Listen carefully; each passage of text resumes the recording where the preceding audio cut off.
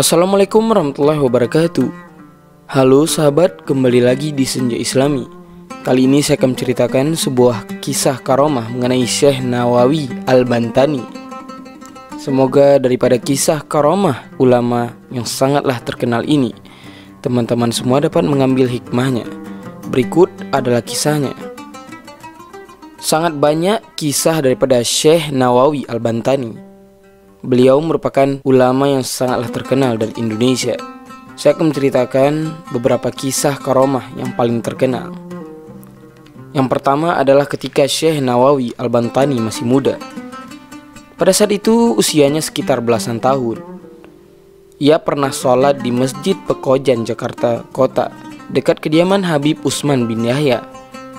Seusai sholat, Syekh Nawawi menghampiri dan berkata kepada Habib Usman, yang waktu itu juga berada di masjid itu.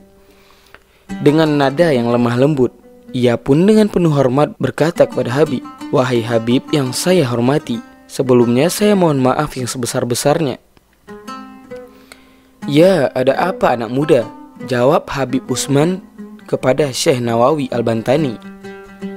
"Begini Habib, masjid ini kurang ngiblat dan kurang nyerong ke sebelah kanan, ke arah utara." Begitu katanya. Karena Habib Usman adalah seorang pakar ilmu falak, beliau pun heran dan menyanggah. Masjid ini sudah saya ukur dengan alat kompas dan berdasarkan ilmu falak.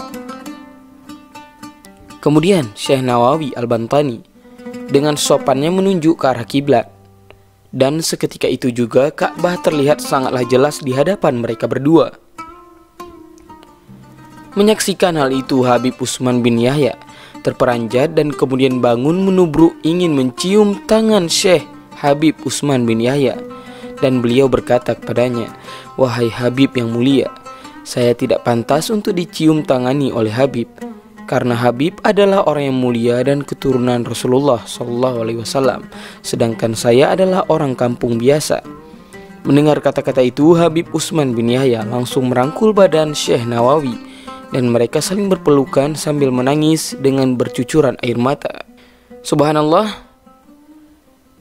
ada satu kejadian lagi yang sangatlah spesial yang dialami oleh ulama Syekh Nawawi. Ini kisah Syekh Nawawi yang pernah sholat di mulut ular. Kejadian ini adalah salah satu karomahnya. Dikisahkan pada suatu hari Syekh Nawawi Al-Bantani sedang melakukan istirahat di pada suatu tempat. Suasananya sangatlah sepi dan tidak ada seorang pun. Tak lama kemudian terdengarlah azan asar yang sangatlah menggema. Namun kemudian tidak ada seorang pun yang datang untuk berjamaah. Akhirnya beliau ikomat sendirian dan melakukan sholat. Setelah itu Syekh Nawawi kembali melanjutkan perjalanan. Beliau berjalan dengan mata lurus ke depan. Setelah beberapa lama, Syekh Nawawi menengok ke belakang. Betapa kagetnya beliau Ternyata ada seekor ular raksasa yang mulutnya sedang menganga. Akhirnya beliau sadar bahwa tadi diketahui melakukan sholat di dalam mulut ular yang sangatlah besar itu. Kisah Syekh Nawawi sholat di mulut ular ini diceritakan oleh Kiai Haji Nawawi yang dikutip daripada halaman Nahdlatul Ulama.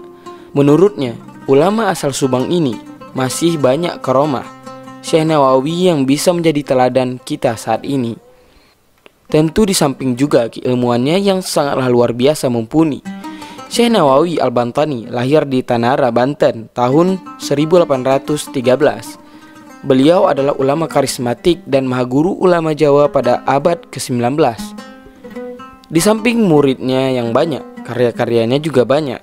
Syekh Nawawi bernama Abdullah Al-Muthi Muhammad Nawawi bin Umar Al-Tanari Al-Bantani Al-Jawi Sejak kecil, mempelajari ilmu agama dengan tekun, kemudian melanjutkan nyantri kepada Kiai Yusuf, seorang ulama besar di Purwakarta. Menginjak usia ke-15 tahun, bersama dua orang saudaranya pergi ke Tanah Suci untuk berhaji. Namun kemudian, Nawawi muda tidak pulang tetapi menuntut ilmu di sana. Syekh Nawawi kemudian berguru kepada Imam Masjid Al-Haram, Syekh Ahmad Khatib Sambas, Abdul Ghani Bima, Yusuf Sumbulaweni, Syekh Nahrawi, dan Syekh Ahmad Dimyati. Selain itu tercatat nama Ahmad Zaini Dahlan, Muhammad Khatib Hambali dan Syekh Abdul Hamid Dakhestani sebagai gurunya. Tekun dan cerdas menjadikan Nawawi murid yang terpandang di Masjid Al-Haram.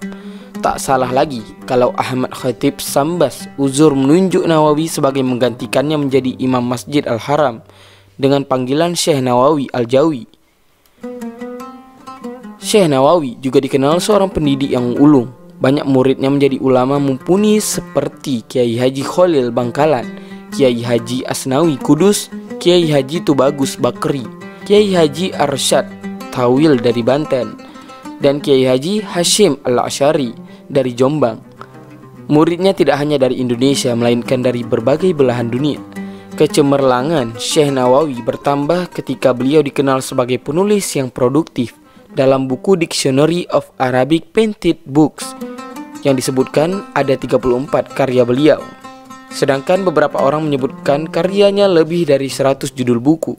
Di antara karyanya yang terkenal adalah tafsir Marah Labid, Ad-Simar Al-Yaniyah fi Ar-Riyadah Al-Badiyah, Nurasulam Al-Futuhat Al-Madiniyah, dan Al-Aqdu Samin.